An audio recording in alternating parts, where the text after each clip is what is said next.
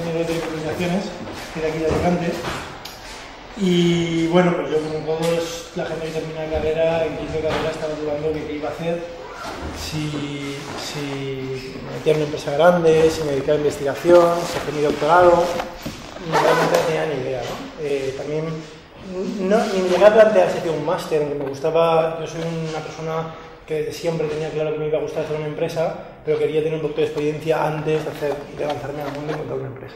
Una empresa, si empiezas a montar una empresa quieres que funcione, más vale que tengáis una visión de, de, hacer algo que puede ser hacer algo, mejorar la calidad de vida de las personas, mejorar en general, pues una, un propósito noble, eh, optimizar algo que está mal, optimizarlo. ¿no? Google, pues una mezcla de esas dos.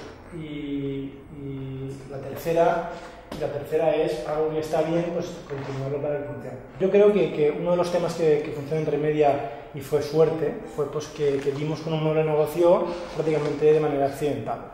Yo voy a, al desarrollador y le digo, oye, dame tu juego, no, no, no, no, te cobro nada, ¿vale? Déjame distribuirlo y yo te envío los cheques de lo que venda. Yo hago todo. ¿vale? Entonces, esto fue en el, en el 2005, eh, vendimos la empresa entonces yo, en mi, en mi afán de, de, hacer una empresa con propósito, ¿no? No, no, por ganar dinero en sí mismo, con propósito, pues digo, che, ¿y si, y si, eh, ¿y si hago algo como, como eBay, ¿vale?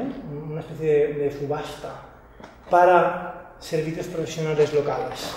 Y, oye, y que en lugar de yo ir persiguiendo a los, a, los, a los contratistas y toda esta historia, que vengan a mí, ¿vale? Punto uno, primera diferencia, que vengan a mí.